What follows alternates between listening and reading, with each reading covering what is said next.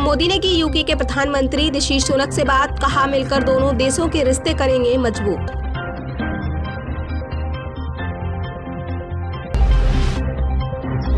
Voter list से यादव व मुस्लिमों के नाम काटने के आरोप पर चुनाव आयोग का अखिलेश यादव को नोटिस 10 नवंबर तक मांगा जवाब।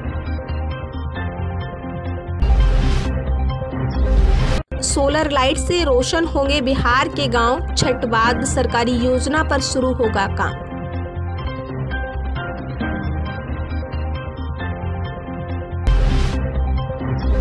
क्या राजस्थान दौरे में पीएम मोदी बढ़ाएँगे मानगढ़ का मान? कार्यक्रम की तैयारियों को लेकर मंत्री अर्जुन राम मेघवाल ने की बैठक।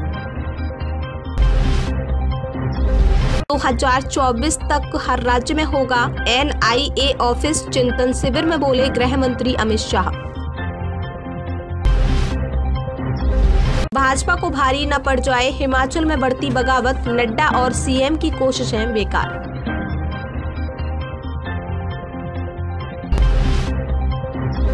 अशोक गहलोत ने प्राइवेट अस्पतालों के खिलाफ खोला मोर्चा, बोले लूट की छूट नहीं देंगे।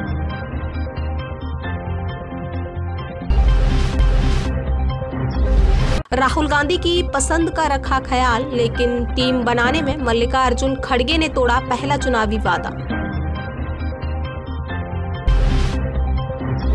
डबल इंजन की सरकार की एक और सौगात, केंद्र ने उत्तराखंड के हवाले की एच एम टी की पैतालीस दशमलव तैतीस एकड़ ज़मीन।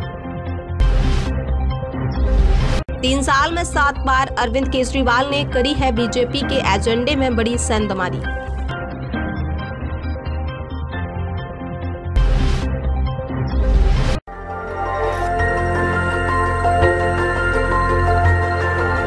देखते रहिए डीवी भारती समाचार नज़र हर खबर पर।